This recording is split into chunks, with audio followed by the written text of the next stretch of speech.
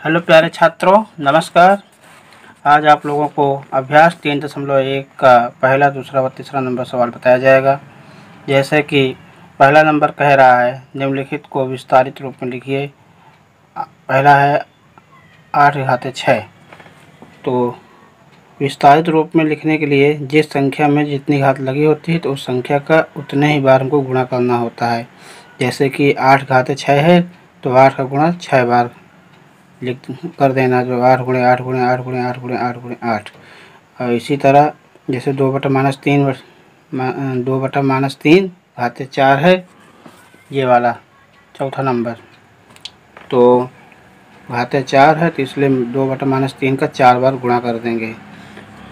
दूसरा नंबर सवाल कह रहा है, निम्नलिखित को घातांकी संकेत के रूप में व्यक्त कीजिए। तो उसी का जस्ट अपोजिट है।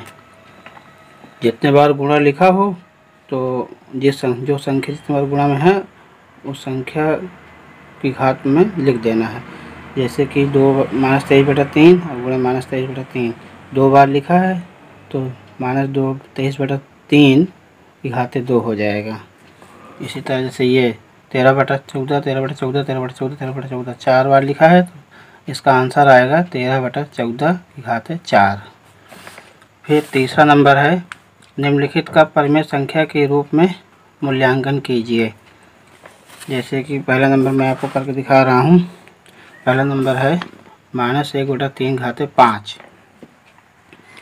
तो घाते पाँच है तो किसी संख्या में जितनी घात, उतनी बार उस संख्या का गुणा करते हैं। तो माइनस एक बटा तीन घाते पाँच हैं तो माइनस एक बटा तीन का पाँच बार गुणा करते हैं। तो माइनस एक बटा तीन गुणे, माइनस एक बटा तीन गुणे, माइनस एक बटा तीन गुणे, माइनस एक बटा तीन गुणे, माइनस एक बटा तीन। इसको हल करेंगे तो माइनस माइनस प्लस चिन्ह का गुणा करा लीजिए। Minus minus plus plus minus minus minus minus, plus plus minus minus आ गया। फिर अंश का गुणा कर दीजिए तो एक एक एक एक सब में है तो गुणा कराएँगे, एक आएगा। और नीचे हर का गुणा करा दीजिए जो संख्याएँ हैं। तो तीन गुणे तीन तीन तिया नौ नौ तिया सत्ताईस सत्ताईस दिया इक्यासी इक्यासी दिया दो सौ तैंतालीस। यही हमारा आंसर हो जाएगा।